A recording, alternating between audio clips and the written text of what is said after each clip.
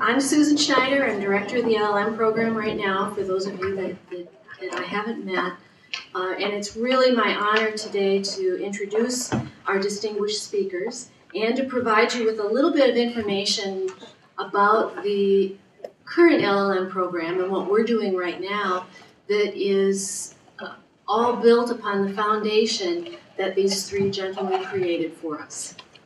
Um, when the LLM was LLM program was first created over 30 years ago now, American agriculture was in the throes of an economic crisis, and attorneys turned to the LLM program for the expertise that was really needed to address the vexing legal issues uh, that faced farm and agribusiness clients. And these issues are still very important, and that's still a role that the LLM program can serve. Today, however, many of the significant issues that are facing farmers and agribusinesses raise issues of sustainability, our food system, food policy, how do we produce our food, what are the social and environmental costs, how do we feed an increasing world population in the face of climate change, how can consumer, consumers learn more about the food that, that they produce, and how can we reconnect those consumers to the agricultural system that feeds them. Again, attorneys are turning to the University of Arkansas School of Law and its LLM program for this expertise. And one of the delights of my job every year is to welcome a new class of talented attorneys that are really excited to be here and studying issues that they really can't access anywhere else. I hope everybody has an opportunity to pick up the flyer that we have on the bios of this year's class because we've got a tremendous class coming in. Uh, lots of good expertise, good experience, and I know it's going to be a great year for us. Our classes this year reflects the, the current classes, where they're a dynamic mix of farm kids and city kids, traditional agricultural law interests, and progressive food policy interests. We bring together diverse groups of people that need to talk to each other and that need to understand each other better. And we're just delighted to be able to have that opportunity uh, here at Arkansas. But we wouldn't be here and we wouldn't be doing any of the work that we're doing today if it wouldn't be have if it wouldn't have been for the three speakers that I would like to present to you today. It was their leadership, foresight, dedication, and sometimes tenacity that came that, that brought about the wonderful LLM program that they created for us.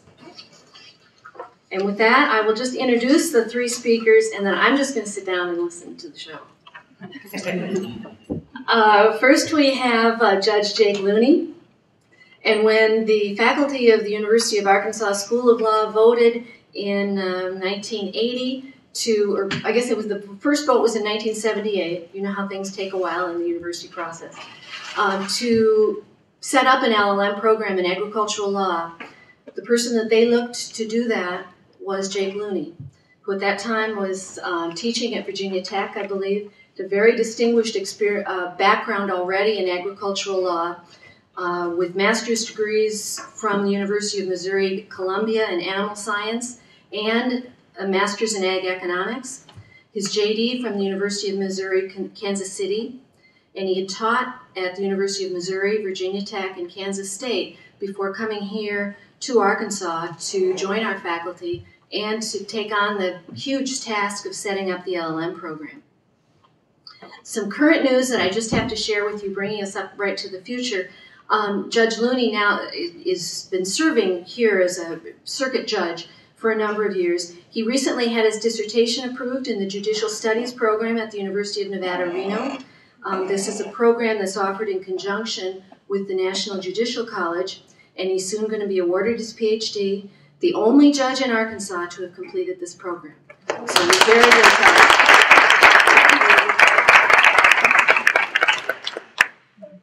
Uh, next to Jake, we have Neil Hamilton, and I feel like I've introduced Neil Hamilton so many times this week that I have it almost memorized. Um, Neil is the Dwight D. Opperman Chair of Law at the Drake University School of Law in Des Moines. He also serves as the director of the Drake Agricultural Law Center, which itself will be celebrating an anniversary coming up the, this year, 30th year. Um, Neil has done tremendous work in agricultural law over the years. Um, when Jake began to set up the LLM program, he reached out, and Neil was the first professor that he hired to come here and teach. And I think that, and since that time, Neil has continued in his leadership in agricultural law. He's lectured throughout the United States and in, in at least 20 other countries. He's been teaching agricultural law now for over 30 years, written more than two dozen law review articles, and a number of books on food and agricultural law issues. We're delighted that Neil comes back every year to teach our introduction to agricultural and food law in the LLM class, and then he comes back around in the spring to teach a course on rural development, rural lands, and um, rural livelihoods that, that picks up on many of the emerging issues coming to agriculture. And then now next I would like to introduce Professor Don Pedersen, who was the director of the LLM program when I was in the program. And the, the greatest joy of all of the LLM students that I knew in that time period was to just see if we could come close to meeting Don Pedersen's expectations of us. We, we sometimes didn't do as well as others, but he was always very patient with us and very understanding, and always, the most important thing I think is that he always really believed in us, and we all struggled to meet that level of, of uh, possibility. He has his BA from St. Olaf in Minnesota, a former Minnesotan, I would add a JD from Northwestern, had practical experience uh, representing farmers in uh, small towns in Minnesota, and I think that that experience always filtered into his excellent teaching.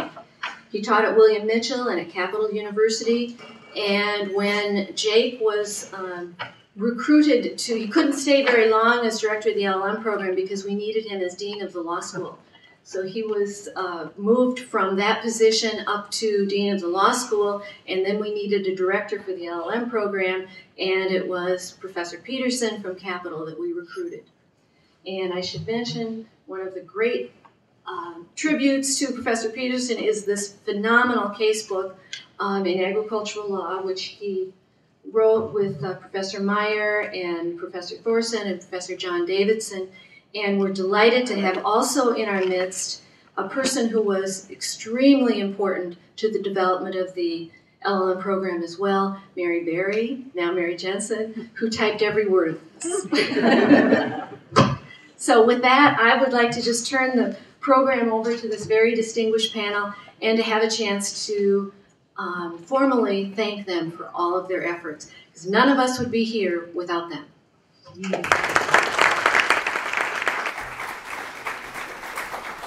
Well, I guess I get to go first. Uh, I guess because I was the first one here, but uh, Susan suggested that, that I talk a little bit about what got me into agricultural law and then the, the, the, the basis of the program. I, I, I, do want to say this is just so refreshing for me. Uh, I'm the only judge in a two county circuit in Arkansas, so that means that I spend most of my time listening to people fight over birdhouses and and and and recliners and whose whose dog did what to who and well Larry Froelich can do a program on dog bites if y'all ever need one. He he is the guy on dog bites. Uh, but it's it's nice to be here and to, to relive some memories and see so many of you that uh, that I enjoyed working with. Uh, as as uh, Susan suggested, my my interest in, in law came a little bit late because I actually started out in animal science with a plan to go to vet school and was at the University of Missouri and planning to uh, finish a master's in animal science and go to vet school. And one of the requirements they had there was that you had to take a course outside the sciences, and they had an agricultural law course, University of Missouri, in the Ag Econ department that had been around for a long time. And I took that course, and I can remember coming home and and Ira, my wife, after listening through a lot of this, would, said to me once, "You're going to end up going to law school, aren't you?" no, no, no. this this is just interesting stuff. Well, by that fall, I had uh, enrolled in law school and changed uh, changed my whole program. Interestingly enough, before I finished law school, the uh, person who had been teaching that course in Missouri uh, wanted to go back and do some graduate work, and I had the opportunity to go back and teach the course that that started my interest in this whole thing, and and so that's that's kind of where I went from. Interestingly enough, about that time, and we're talking about the late '70s, there was this this developing interest in the the overlap of law and agriculture.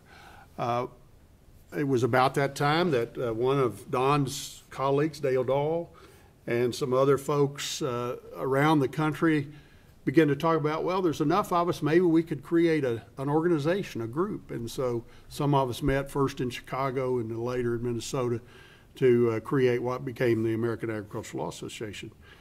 And then, as Susan suggested, our faculty here, the faculty here, decided in the late 70s that they would like to get into graduate legal education and had a lot of debates as to what field could Arkansas do that would be appropriate for this part of the world, but also within the resources that might be available. And uh, a couple of the faculty members just kind of threw out, they'd heard a little bit about what was going on, threw out the idea of agricultural law.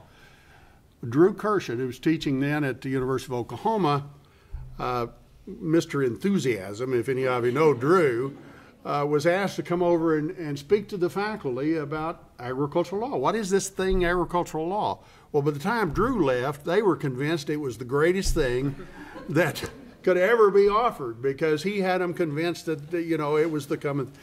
Well, so they decided to uh, establish the program, and as Susan said, I was I had been teaching at the undergraduate level and and came in with the with the job of creating the program, and I spent that first year uh, traveling around the country, talking to people at other law schools, recruiting, uh, also talking to a lot of people as uh, uh, uh that were in the field, just as to what should be in an LLM program in agricultural law, and uh, as a result, kind of did course development and put together the first package of courses.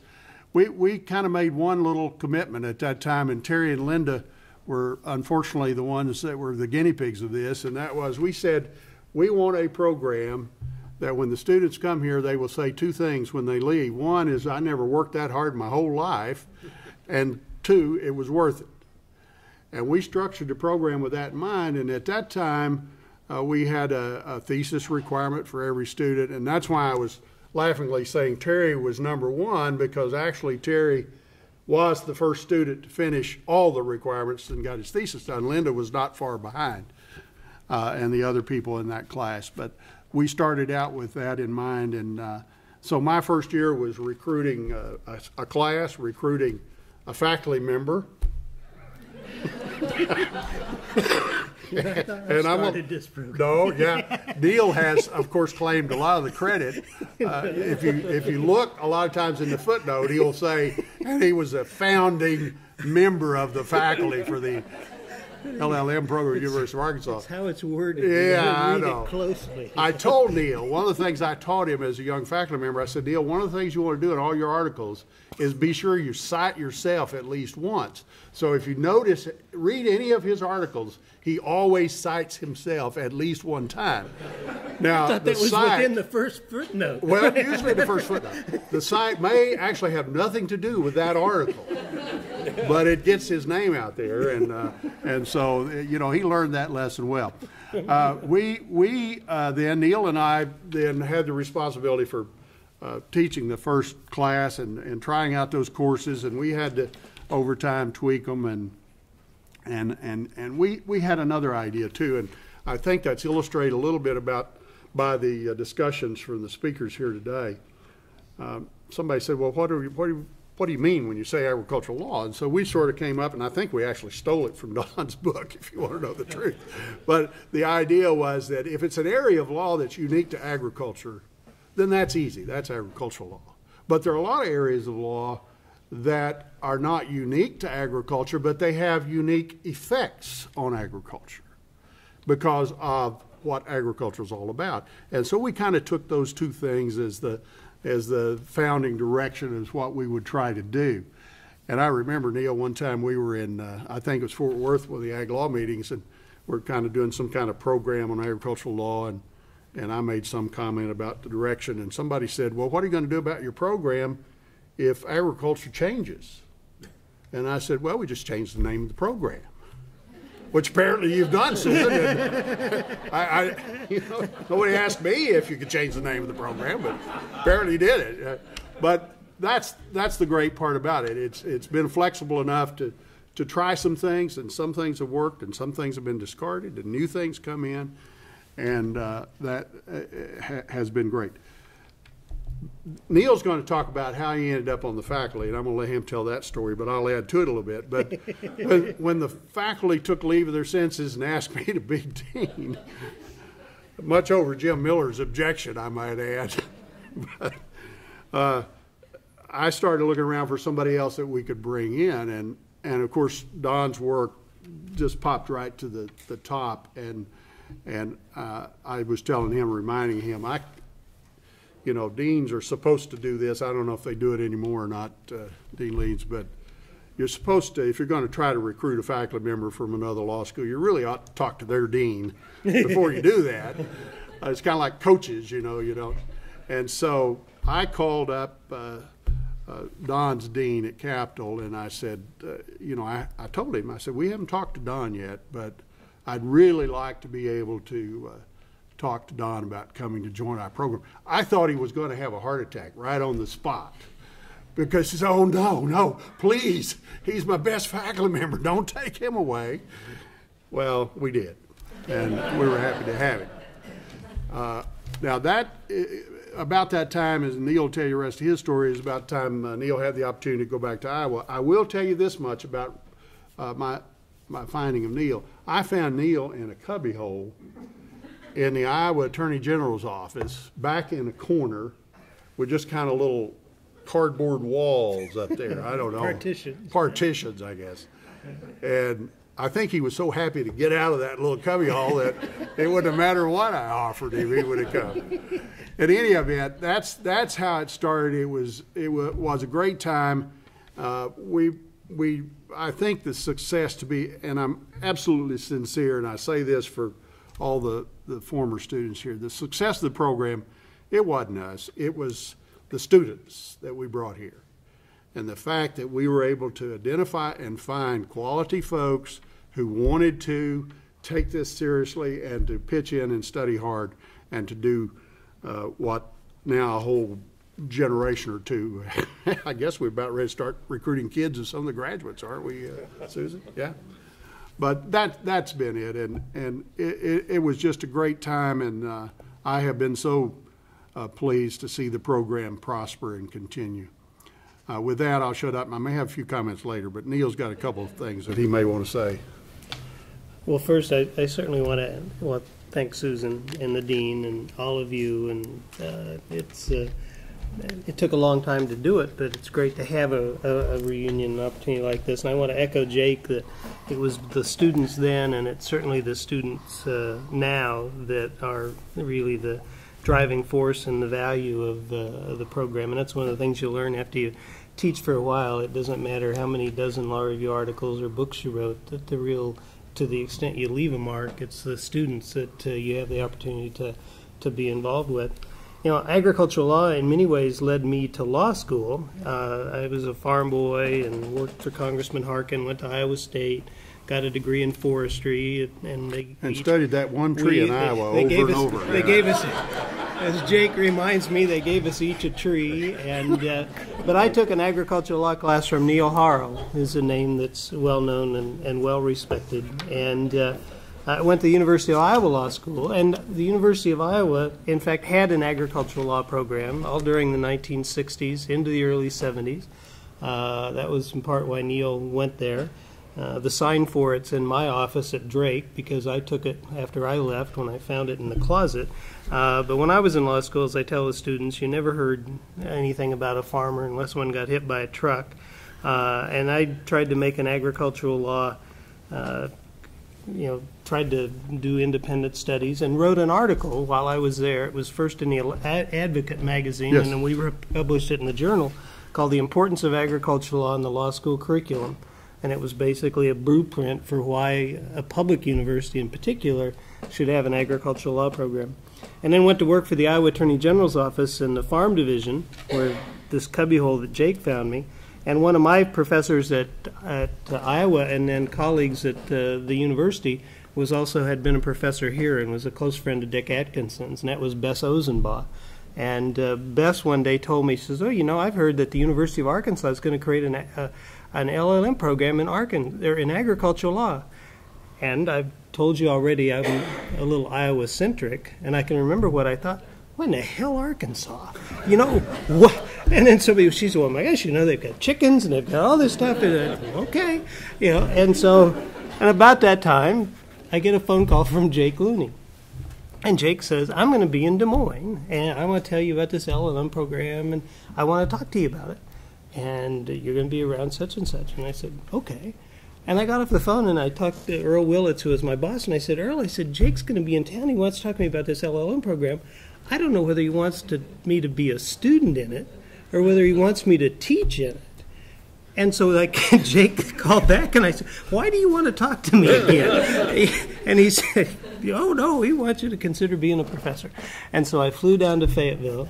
On my birthday, I was here. I'll never forget. It was January 22nd, 1981. It was like 70 degrees. They took me to B&B, Yeah. and we had barbecue, and Right. Whataburger probably too, and maybe Herman's while we were at it. And uh, I... Uh, And I took him down to the farm, and That's right. that's right. And it and it was quite an impression on the locals because they'd never seen a guy in designer jeans before. They, they were Levi's. well, they were not. they weren't They big were- gyms or they whatever. were- right? were, yeah. But anyway, I, I should say, you know, I was only here for two years, so I'm the thin I'm the thin filling in this sandwich of knowledge. So I won't make this very long. But I had the great opportunity to be hired and come down here. And of course, this program, and Jake was sincere about how we work people, and God, they took 30 credits in this thesis. And uh, as a new professor, he said, "Okay, here's your two classes you're going to teach each semester." Well, these were all brand new classes. I'd never taught them. Nobody Nobody ever taught them. There were no case books, so it was a little bit challenging, right? And if you see the picture, I was fairly young, 27. Most of the students were I'd been in practice longer than I'd been out. I'd been out of law school for two years, and so I developed four new classes during the first year when I was teaching. It was only later when I've been on the hiring committee, and you talk about hiring people, and they said, "Well, can I have some relief semesters so I can prepare my new class?" I'm, what do you mean? I didn't even know that was an option. and but so I didn't have that option, and so I was here and uh, taught and uh, had only been here right for a year and then uh, the opportunity for Jake to become dean uh, came up. I managed his campaign uh, successfully. Uh, my work was done and I moved back to Iowa. Jake became dean. I moved back to Iowa. But you know, the truth is, we both cleared out of the agricultural law program because we didn't want to be around to be compared to Don Pedersen because he was such a hard worker and a cranker that we said, whoa. And so Jake, Jake went to the dean's office. I went north where most stuff from Arkansas didn't get that far because the mail didn't go. And, uh, but uh, I've always been, let me say, and end in seriousness, I'm so proud and thankful and lucky to have started my career here and to remain a friend of the law school. Drake and Arkansas have had a wonderful uh, linked and strong relationship and a partnership over the last uh, 30 uh, some years. And agricultural law has been very good to all of us, and it'll be very good to uh, uh, many of you. And with that, I want to hear the real history of when the program got off and running after we got out and running. So, Don, let me turn it over to you. Well, a couple of uh, preliminary remarks first. Corrections, maybe. Well, no, actually, I, uh, uh, some of this early history is very interesting to me because I, I wasn't here.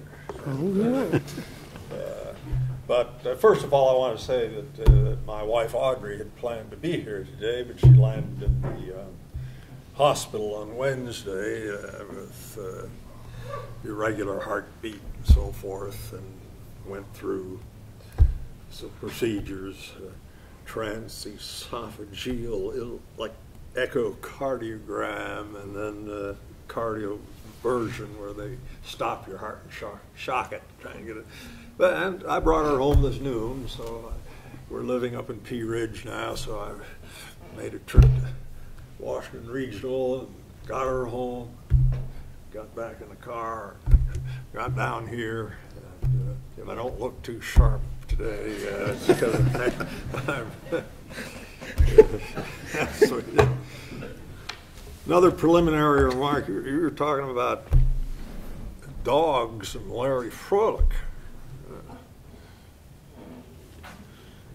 I remember his principal paper for the LLM program. When can the farmer shoot the dog? That's right. That was it. It, it just shows you the breadth of Oh. agriculture. you know, it's, uh, um, well, Susan had uh, had asked all of us, I guess, to, to tell a little how we got interested in agriculture and agricultural law. And of course, my story is very different uh, than Jake's story or Neil's story. Uh, my father was a Lutheran minister, and after World War II, a Veterans Administration chaplain. My mother's father was a Lutheran minister and had brothers who were Lutheran ministers, and it just goes uh, clergyman, clergyman, clergyman. Uh, so I didn't grow up on any farm, and uh, uh, but what happened was that.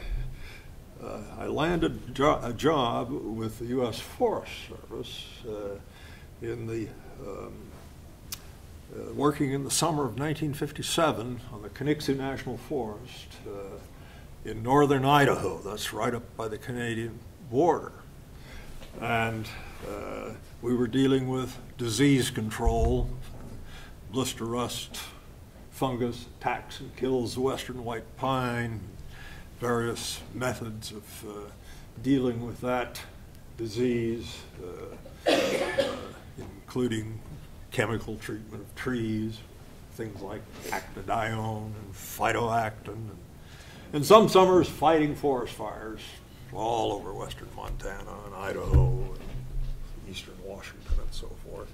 And it sure did get me interested in, in forestry issues, uh, both public and, and, uh, and private.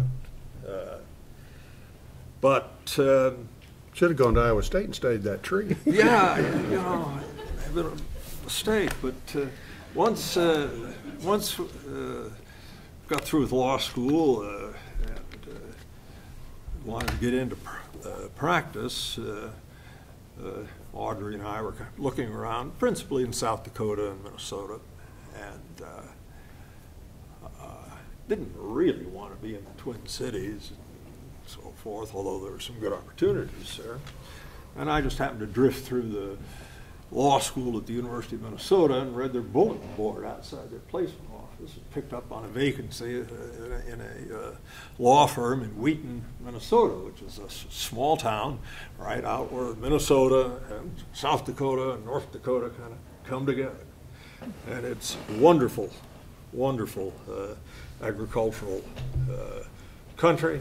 And uh, uh, the firm for years had been known as Murphy, Johansson, and Winter, established in the 1890s by Frank Murphy.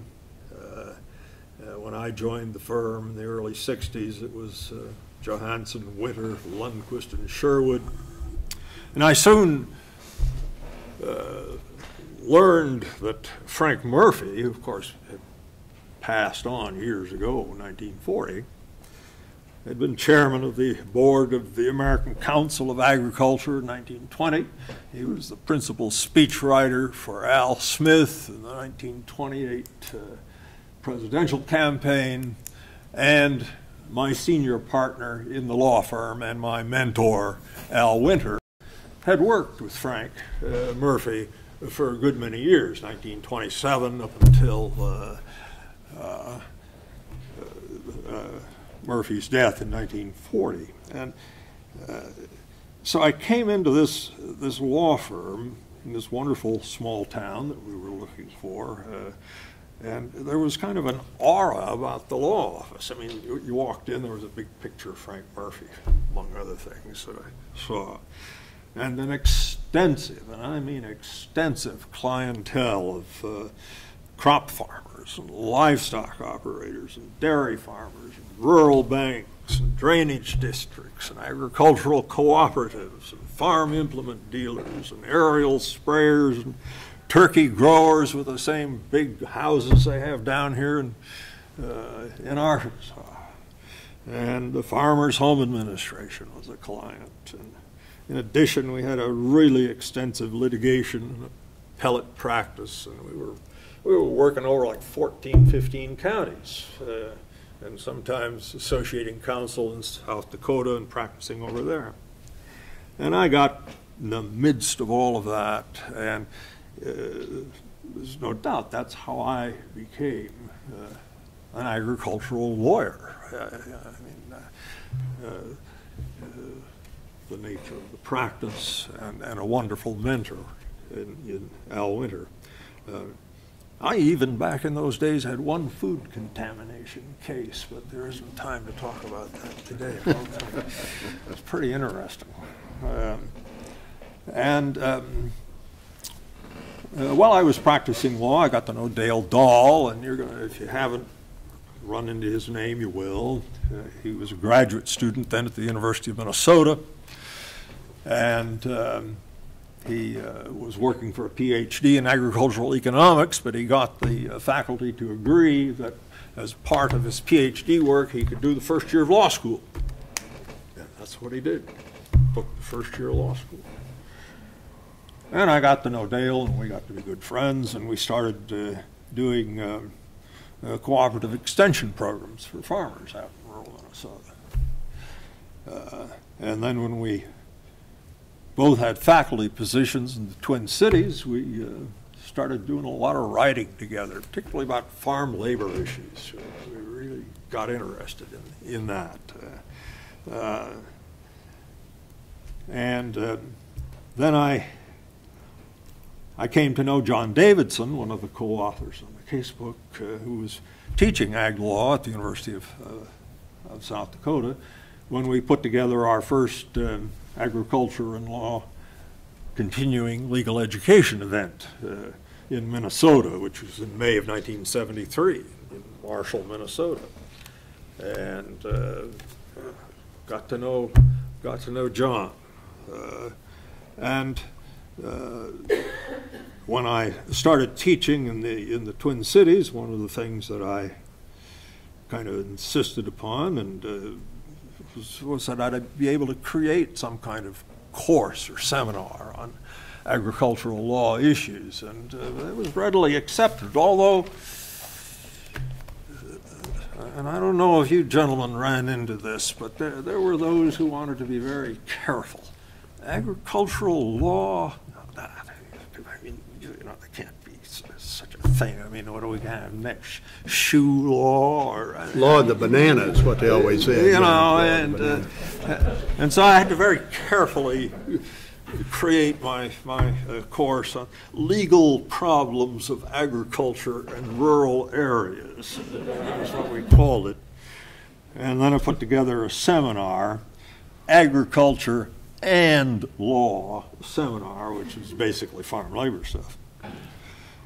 And you know, I've been in meetings, not here in Arkansas, happily, uh, but where, where uh, law faculty members would, would hear about uh, agricultural law and so forth. And think, ah, ah, what are you going to have? A course on manure law? You know, and, and uh, uh, that kind of uh, that kind of stuff. And, and, and no disrespect, uh, Neil, I vividly remember one faculty member said, "Well, I guess, I guess you'll have to publish everything in, in, in the Buffalo Law Review and the Drake Law Review." And the Suffolk Law Review, don't forget that. yeah, so there was uh, a certain uh, question of, uh, of acceptance of the discipline.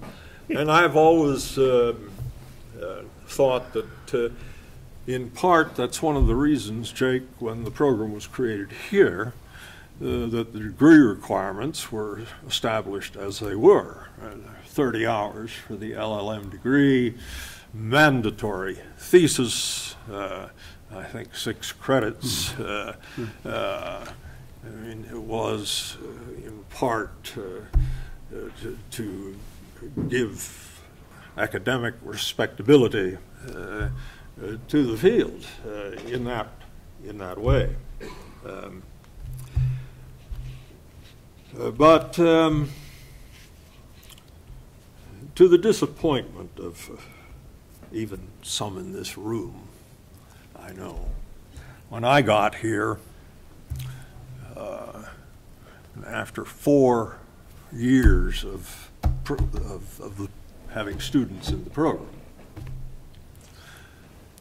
there were four LLM graduates. That was it.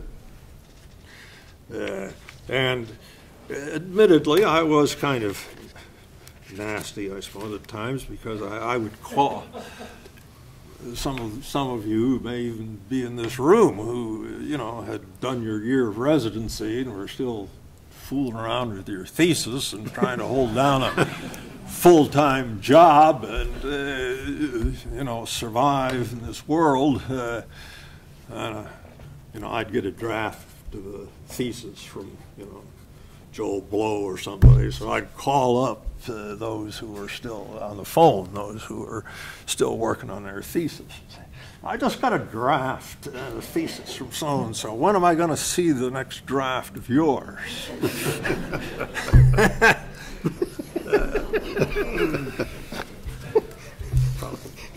Wasn't appreciated a whole lot, but. Uh, uh, but after four years, uh, I began to hear whispers and uh, little information circled around, uh, circulated around that the University of Arkansas uh, had some standards on small degree programs, and that uh, graduate programs that weren't producing at least five graduates a year uh, might you know, be subject to some review, uh, not by the law school, but by the by the higher ups as to whether it economically made sense to continue to run such a such a program. And so I took it upon myself uh, to um, look into the possibility of getting the degree requirements changed. And I checked with just about every LLM program in the country to see what degree requirements were. I think I might have found one that had 30 as the requirement. I don't know that I found any that had a mandatory thesis. Might have, might have been, might have been one or so.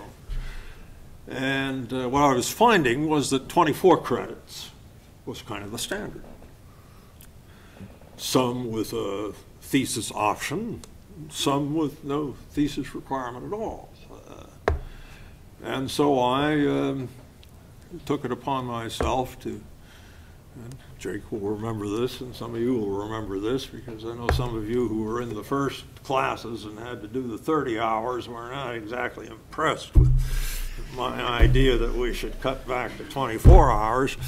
Uh, but I persisted, and uh, uh, sold the law faculty on the idea that, uh, you know, maybe we should ch change the degree requirements 20, four hours with a thesis option. I can't remember whether three or four hours would be for the thesis, if one wanted to go that way. But there'd still be a substantial writing requirement, uh, either in a seminar or in research seminar two, where you'd be expected to, to put together at least a modest law review type article. Uh, and um, I don't know how much you remember about this, Jake, but oh my God, was that an effort. I mean, I had to go over and visit with the people at the College of Agriculture because we had a really extensive relationship with College of Agriculture at that time and with, with uh, so many people there. And, uh, uh, and then the graduate school, I mean, they were providing assistantships uh, for our LLM students. Even though we weren't exactly part of the graduate school, but nevertheless, that's where assistantship money was coming from. And I can remember uh, sitting in the office, and I think you may have been there with whoever was the dean of the graduate school. And, uh, you know, I'm not terribly impressed with this idea. And then, of course, you, you had the higher ups in the university. I mean, this sort of change would take you all the way up to the uh, the board or whatever they, they call it, uh, the, the university as a whole. And it was kind of an exhausting uh, undertaking, but by sometime in 1985, uh, got it approved. And we uh, made the change. And so those of you who are here now can thank me.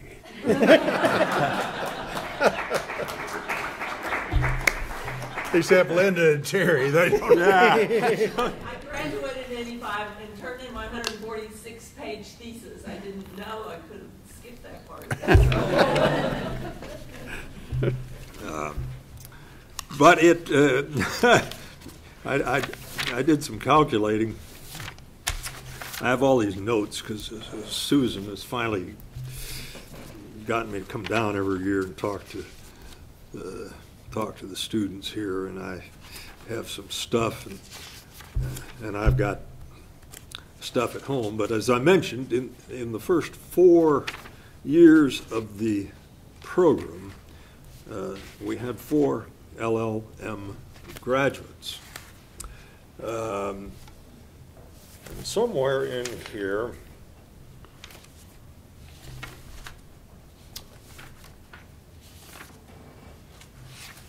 Just give me a moment. As I um, told you, I'm not as alert today as uh, I sometimes am. Uh, I don't know where this has disappeared to, but uh, ah, let's see here. Yes. Uh, the first four years, four graduates the next six years of the program, 64 LLM awarded.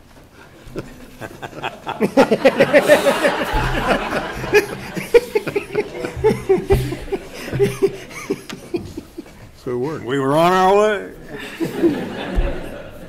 and, uh, you know, I, I understand uh, uh, the concern of, uh, of those who were here at the, at the very beginning, but I just felt like something had to be done about that.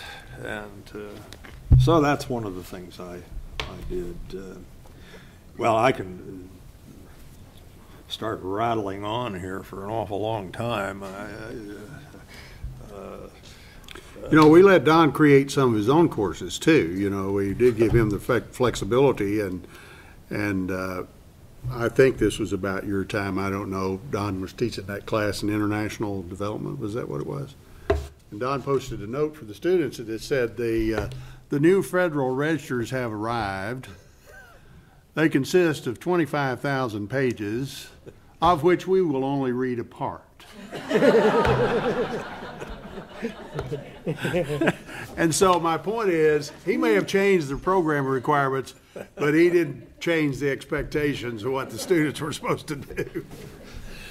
But now that you bring up the international side of things, uh, it's, it's, kind of interesting because uh, when I came here, all these books laying around, chicken wars and uh, mm-hmm. merchants of grain and so forth, and uh, and I found out that uh, this man right here had been teaching an international trade course in the first couple of years of the program, and I thought this, you know, this is powerfully important. Uh, and so um, uh, we, we, got your uh, outline or, or, or, whatever, assignment sheets and so forth, and uh, I didn't take it over right away. Bill Lancaster was on the faculty and the, he taught international transactions and so forth. So we convinced uh, Bill Lancaster to uh, take that over, which he did for a while. Then he passed away. For some reason, the faculty, I have no idea why, decided not to hire another international law teacher, uh, international trade teacher, and uh, I thought, well, this is this is not good. And as director of the program, and Susan knows this, when you have an area of the law and, and, and nobody else wants to teach it, and it's got to be taught, director of the program teaches it. Making a difference what it is. Or her husband, if she could, you know. Oh, yeah, well, she, yeah, you know. Uh, so I, uh, I put together uh, uh, an international ag trade uh, course, uh, three credit course, and uh, I, I, you know, looked around to see if there were any uh, teaching materials that, that, that might be useful, and I was um, astounded uh, to uh, discover uh, a book uh, from Matthew Bender uh, uh, called International uh, Trade, and I'm trying to remember. I have I've noted somewhere in here um, the um, uh, the guy at New York University uh, who um, put out that uh, casebook, and I got a copy of it, and I got to looking at it, and his cases, the principal cases, one after another, were involving agricultural transactions, shipments of, of hops, rye, Sudanese groundnuts, white sugar. It, it- was uh, Andreas Lowenfeld is, uh, is the author of the, of the casebook. And uh, he, he didn't get any, uh, into any container shipment transactions. It was all bulk cargo. And so here was this book uh, that I could actually use. And, uh, uh, which was, you know, I had a lot of other stuff that I gave the students, but, uh, so I got that going, and then I got the international uh, trade policy seminar going, and I taught those things, and uh, uh, almost always had to teach ag finance and credit, because nobody else wanted to teach ag finance and credit. Uh, That was the way it went. Um, But um, the, um, uh, you know, it's, uh, uh, I I have um, uh, warned Susan about that, not to get too, too carried away. Let me- let me just, Wear uh, yourself out. so.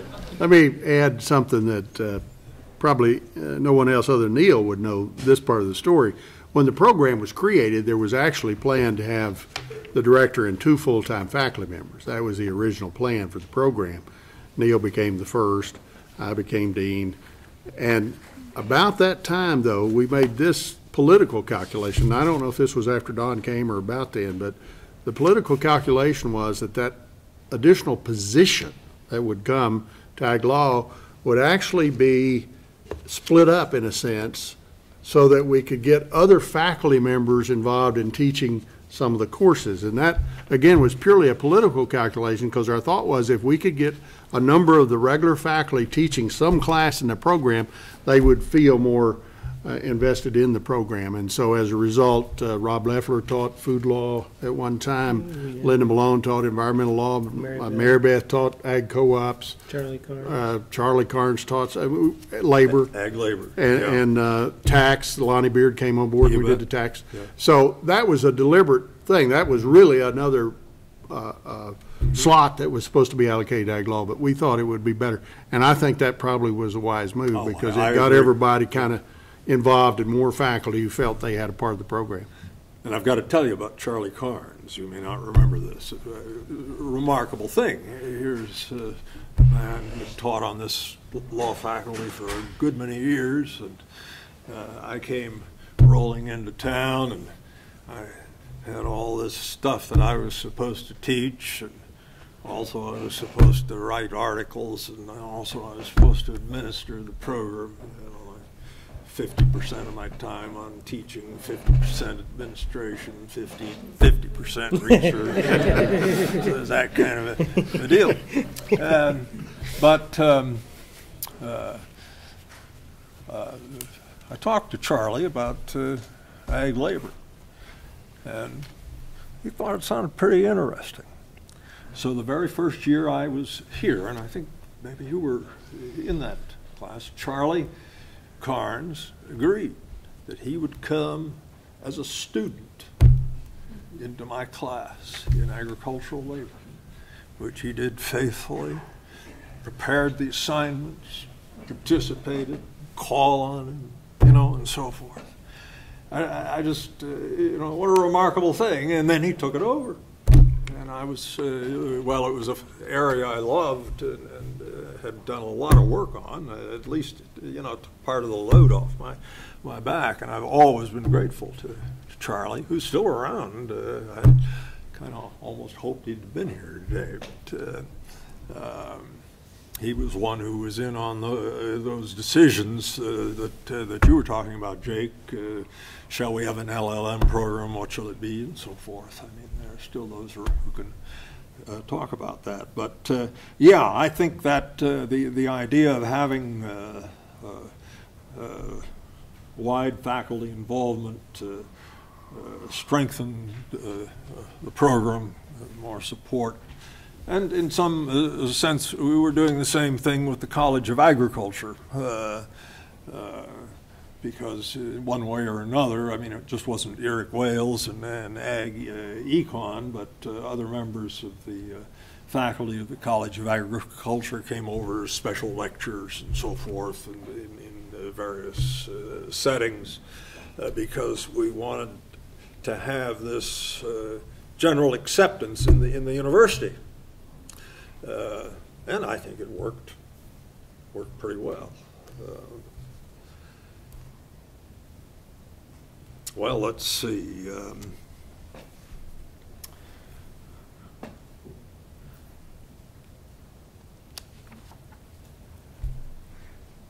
I have to um, add one thing about, uh, you know, who's responsible for uh, success of this uh, this program, and um, uh, when we get into that topic, we come to somebody named Mary Berry. Now, Mary Jensen. Um, she was the first program secretary, and she was my personal secretary for several years. Uh, cheerful, organized, knowledgeable. She held the place together. Students first arrived, they, they met Mary and they felt welcome. They had problems, they'd go talk to her. Uh, and uh, her workload was great, but it seemed to me like she could run a calculator, the computer, and talk on the phone all at the same time, but uh, maybe that's a little exaggeration. And flirt with uh, Jack, too. Yes, and I'm coming to that. Um, and of course, she had to put up with my, you know, I was an old time lawyer uh, in the law firm I was in. We didn't have computers the idea that a lawyer would sit there fiddling on a computer. I mean, uh, I still to this day can't deal with that. Uh, I, I, you know, our firm, uh, uh we had secretaries who, uh, who either could come into the office and take uh, sh shorthand dictation, or we had dictaphones. and I'd I got very good at this, rattling off letters, and articles, and Uh, So much so and- that, uh, I've got to interrupt and tell this. I was dean. Don came to me and said, are there any other dictaphones left in the building? I've worn out all those I had. We scrounged around every closet we could find and found every old dictaphone we had and kept giving them to Don, and he'd wear the next one out. We'd find him another, right, Jim? You helped me. We dug around everywhere, trying to find dictaphones for Don. Yeah, well, I'd learned how to, you know, that's what we did. uh, And and our secretaries in the law firm, uh, they sat there with the earphones on. and uh, You learned not only to dictate the text, but you dictated the punctuation and everything. And uh, And the footnotes. they'd give you the draft, uh, you know, and mark it up, give it back to them. And it was amazing how much work you could get done using that method. Uh, uh, so, uh, you, you know, Mary had to, uh, had to put up with, uh, with that because that's what I was doing. Um, and then came Jack Jensen, the LLM student, and took Mary away.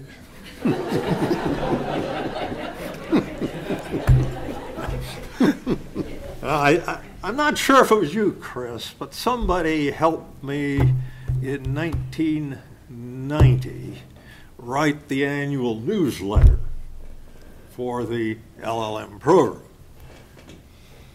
I looked at that the other day, and he wrote to Jack Jensen, We will never forgive you for taking Mary to Kansas.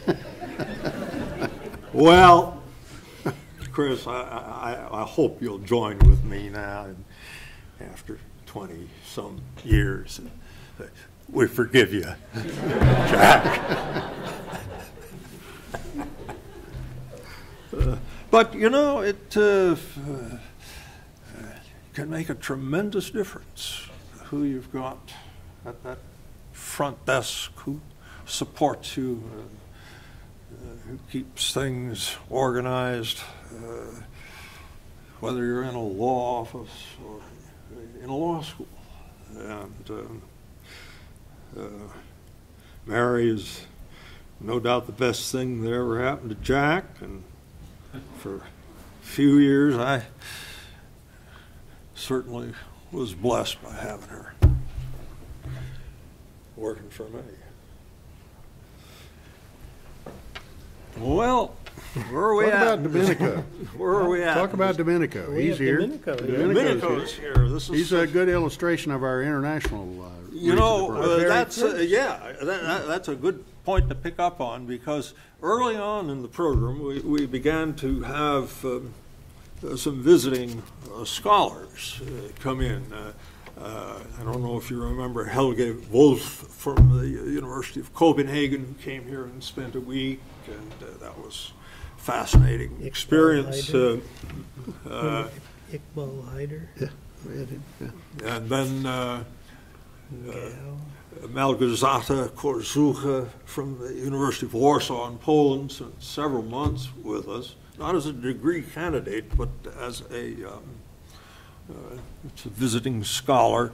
There were others, uh, and, and Domenico uh, came uh, that in, initially as a visiting scholar, and he liked us well enough uh, uh, that he uh, uh, uh, enrolled in the program. Uh, Domenico is on the fa- faculty of the University of Bari in, in Italy, still Foja. Foggia. Uh, and um, when I heard he was coming, I, I found this, my, my copy of Essays on the New Frontiers of American Agricultural Law, Domenico Viti. All the papers that he wrote in his different seminars, his non-thesis option paper.